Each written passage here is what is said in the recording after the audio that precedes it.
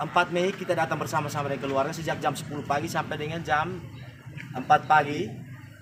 Tadi pagi dini hari tanggal 5 Mei itu kita datang untuk meminta pihak kepolisian sudah sejauh mana perkembangannya. Kemarin kita sudah mendesak pihak kepolisian sehingga pihak kepolisian eh, masih dalam argumentasinya mengatakan kekurangan alat bukti. Eh, namun kita mendesak supaya mengambil visum karena sudah di visum dari tanggal 18. Logikanya itu visum itu selalu keluar setelah tindakan pemeriksaan oleh dokter terlaksana. Nah, jadi tidak berlarut-larut. Nah, kita eh, menduga-duga saja ini mengapa menjadi terlalu-larut padahal ini kasus luar biasa terhadap anak di bawah umur 13 tahun. Ini memang menimpa pada kami, tapi kami juga sebagai keluarga besar takut ini menimpa juga anak-anak kita yang lain. Nah, kakak-kakak wartawan, bapak-bapak polisi juga. Semua kita punya anak dan bahkan tidak punya anak atau saudari yang anak tunggal atau tidak punya anak. Minimal kita lahir dari rahim perempuan dan kita bersama-sama bertanggung jawab untuk eh, menjaga harkat dan martabat perempuan.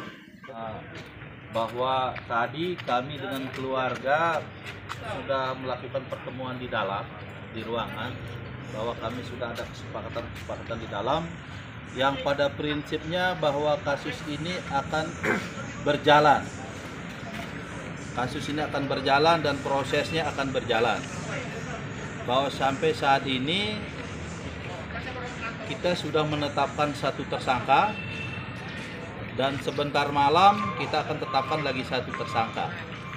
Sementara nanti dilihat perkembangannya kalau memang masih ada tersangka lain kita akan kejar sampai dapat sampai kasus ini perkara ini dapat kita ungkap seterang-terangnya seadil-adilnya dengan tidak ada yang merugikan salah satu pihak.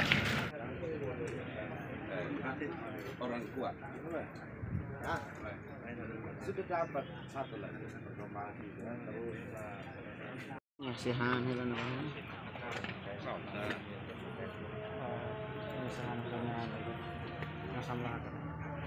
Bahan. Di, di